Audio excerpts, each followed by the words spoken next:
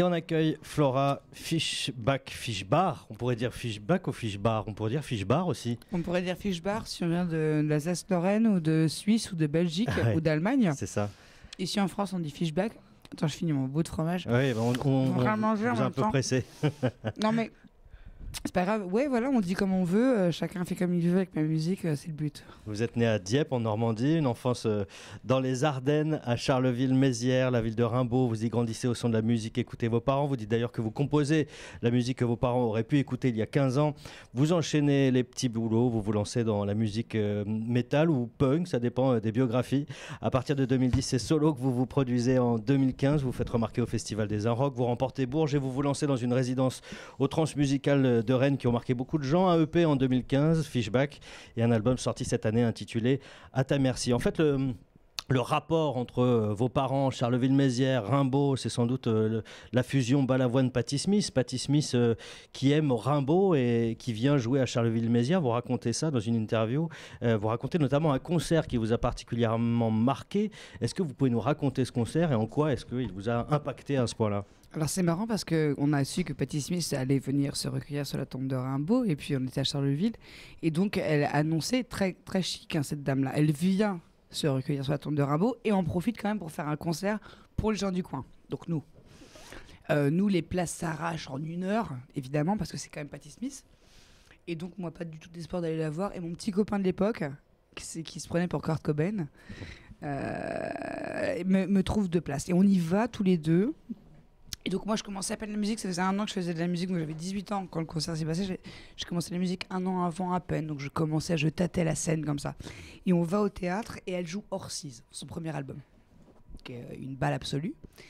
Et on y va, et là j'étais sur le balcon comme ça au premier rang, et je me prends une claque, mais une claque phénoménale, non pas que par la musique, parce que évidemment la musique est sublime, mais surtout de l'aura de cette femme-là Laura, cette femme qui, je sais même pas quel âge elle a, c'est innommable, on peut pas, on peut pas lui donner un âge, elle est, elle est hors du temps totalement, elle a juste des cheveux blancs qui font comprendre qu'elle est plus vieille que moi. Cependant, j'ai senti une espèce de symbiose, genre une femme du monde, une petite fille, une enfant, une grand-mère, une sorcière, un être mystique, une femme réelle. Et elle était tout ça à la fois. Et moi, ça m'a beaucoup inspiré dans cette multitude, dans cette complétude de, de, de possibilités d'être une femme. En décembre 2015, ici même au 106, vous étiez euh, Fishback dans un corps seul sur scène. Euh, depuis Fishback et, plusieurs, euh, un groupe, comment s'est présenté cette occasion de, vous dédoubler, de faire rentrer d'autres personnes dans ce projet initialement solo? Alors déjà, ravi de vous revoir. Parce que j'avais passé un très bon. D'ailleurs, vous avez bougé un petit peu la disposition du truc là. il y avait une grande table avant. Ah ouais, il y avait une grande table avec des micros très très très France Inter en fait, hein, comme comme d'autres trucs. Et ben c'est c'est assez chouette là d'avoir un, groupe avec moi. J'étais venue avec Feuchet Arton qui eux sont un groupe à part entière vraiment. Moi ça faisait trois ans que j'étais toute seule. J'ai composé les musiques seule, j'étais en studio seule. Hein, d'ailleurs l'album que j'ai sorti là, euh, pareil, il n'y a pas eu de musicien additionnel. Enfin, il y a eu un batteur et une bassiste à, un moment donné. Mais, euh, mais c'est assez chouette de faire vivre euh, enfin la musique, parce que c'était des choses assez virtuelles. C'est-à-dire que je composais dans mon ordinateur, pardon, des choses toutes seules, et puis là, il a fallu qu'on les exécute sur scène avec les contraintes techniques qu'on peut avoir sur un live. Et justement, ces contraintes techniques-là, elles nous ont permis d'évoluer dans d'autres trucs. Les contraintes, je pense que c'est pas mal. Euh, dans la création, parce que ça nous permet d'être limité et d'aller à l'essentiel avec ce qu'on a. Et je n'ai choisi que des amis pour m'accompagner sur scène. Michel Bleds, Nicolas Lockhart et Alexandre Bourrit sont des amis de longue date, sont des musiciens euh, qui n'étaient pas... Euh, par exemple, Michel Bleds n'est pas bassiste. Et je l'ai mis à la basse. Pourquoi? Parce que c'est une chanteuse. Et elle sait faire chanter son instrument. Et ça, c'est ce qui compte pour moi. Elle a exploré son instrument de manière absolument vierge, comme moi je l'ai fait avec ma voix. Nicolas Lockhart, qui est au synthé, n'a jamais fait de synthé avant que je lui, je lui demande d'en faire pour moi. Parce que parce que c'est mon ami, parce qu'il connaît ma musique, parce qu'il travaille énormément, parce qu'il réfléchit énormément. Et ça, pour moi, euh, c'est très très important. On ne savait pas où on allait, mais en tout cas, on y allait ensemble. Ça a redemandé du travail Est-ce que déjà sur scène en solo, vous occupiez euh, la scène d'une manière assez singulière mais euh, très présente? Euh, Est-ce que vous avez retravaillé? Il y a quand même une mise en scène sérieuse maintenant Oui, grave. En fait, on a, on a eu cette, cette opportunité absolument formidable d'aller à Rennes, au Transmusical de, Rennes. Donc Jean-Louis Brossard, euh, que je rencontre dans un espèce de... Con... Euh, vous êtes là, vous les gens Mais coucou, vous entendez là Jean-Luc Brossard, le programmateur Ouais. du Transmusical de Donc Rennes. Jean-Luc Brossard, donc, euh, que je rencontre, je fais un concert solo dans un petit bar à Rennes, un truc où il y avait 30 personnes tout bourrées. Délire. Le Brossard, il passe par là, il s'arrête, il rentre dans le bar. Et là, il groove euh, devant le concert, ça fait plaisir. Et il me propose de faire cette création. Je pense que si on n'avait pas fait cette création, ce qu'on a fait nous en un mois avec, avec le groupe, j'aurais pu le faire en un an ou plus si j'avais eu la liberté. Je sortais tout juste de studio, l'album était enregistré, et puis ben là, Jean-Louis me propose de faire ce spectacle absolument génial. C'est quand même une exposition formidable. On te met des moyens pour réaliser tes rêves. Waouh Merci Jean-Louis. Et donc là, on a fait le truc. On a, c'était très intense. hein. J'ai perdu quelques points de vie euh, entre nous. Euh, et- tout s'est transformé depuis. Et depuis, depuis je- j'aimerais bien encore jouer toute seule, mais c'est autre chose maintenant. Et je suis ravie de revenir ici au 106, alors que j'étais déjà venue toute seule, de revenir pour proposer quelque chose de nouveau et qui, j'espère, continuera à évoluer. quoi. Et d'ailleurs, depuis, vous avez été assez exposé médiatiquement, vous avez beaucoup plu. Euh, Est-ce que vous parvenez à maintenir votre degré de schizophrénie nécessaire? Est-ce que vous êtes à l'aise avec ce que vous appelez votre autofiction? Est-ce que ça marche avec ce type d'exposition? Vous y retrouvez? C'est marrant parce que je crois que c'est les, journalistes qui me, mettent face au truc parce qu'en fait, mm, fondamentalement, ma vie ne change pas. Enfin, si, elle change parce qu'on emploi du temps change et qu'on a plein de dates, euh, qu'on fait des promotions, comme on dit, euh, encore des journalistes, on fait des sessions, on rencontre des gens.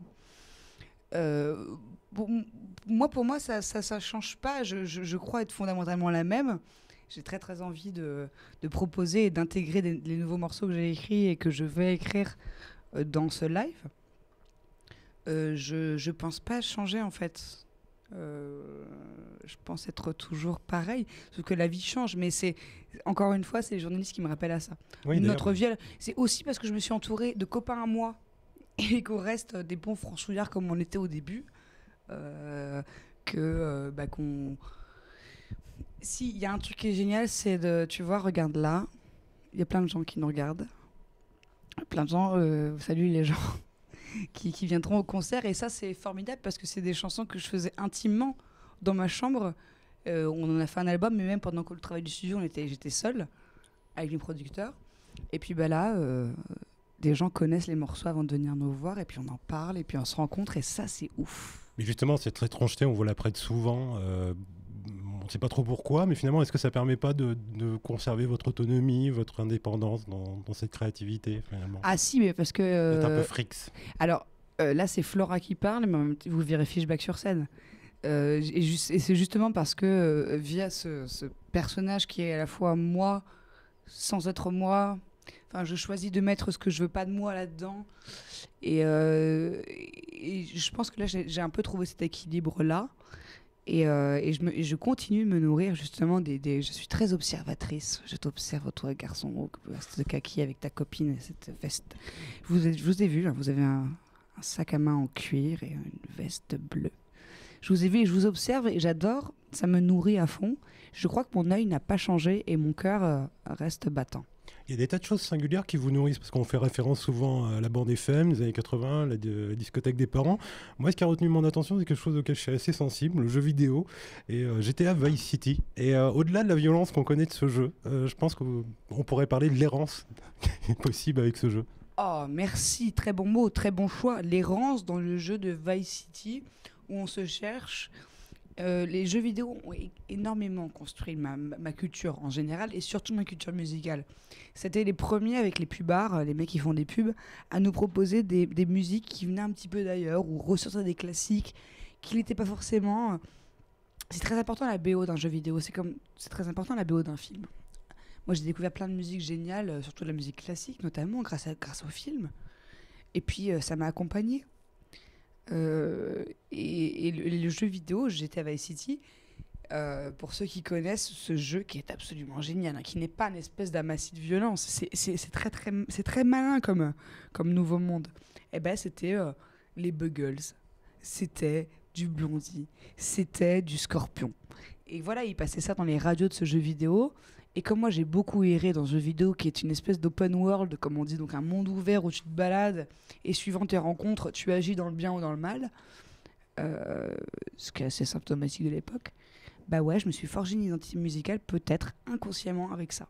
Et votre voix aussi, qu'on relève euh, souvent, c'est quelque chose que vous avez dû domestiquer aussi, ça à travers le temps, aujourd'hui, euh, avec un groupe notamment euh, Alors la voix, non mais la voix c'est marrant parce que moi j'ai mieux comme un mec quand j'étais ado.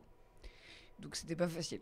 Déjà, d'un coup, d'un seul. bon, j'ai fumé quelques clopes depuis. J'ai l'impression de parler avec vous, mais je ne vous entends pas. C'est très très bizarre hein, comme truc. Bon, c'est cool.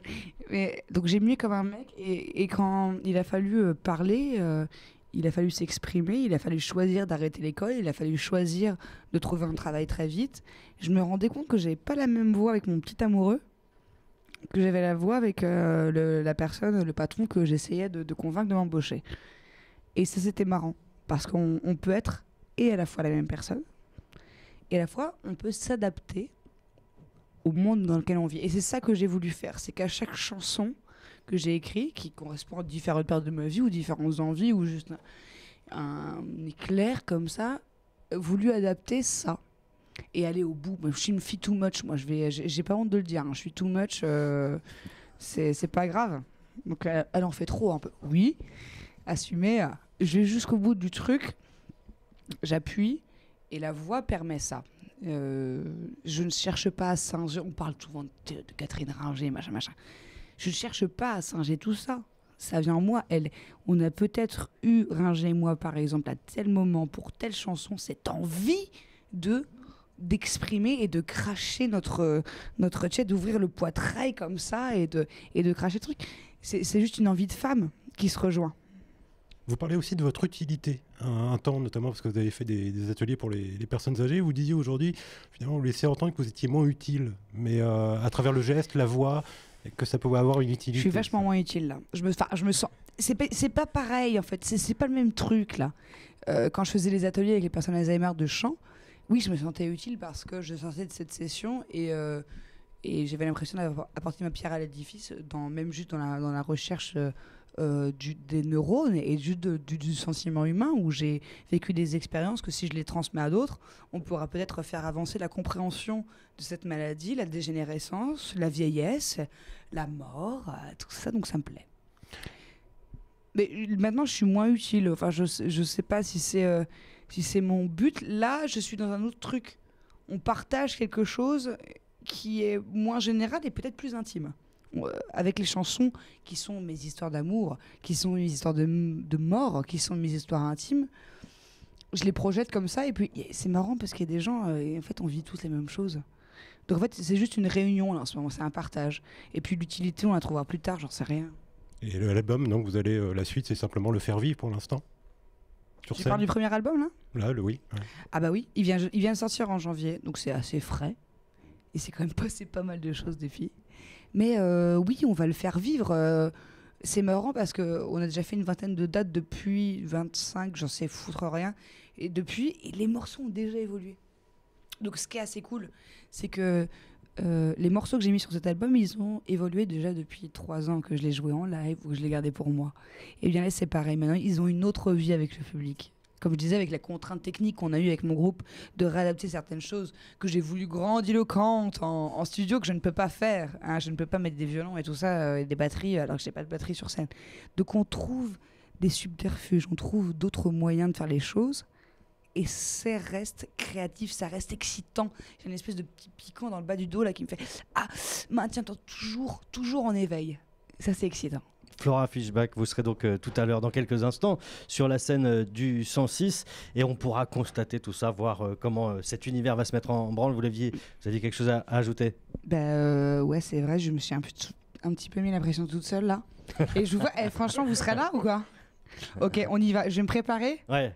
Faisons ça. Salut tout le monde, à toutes. À bientôt, Flora.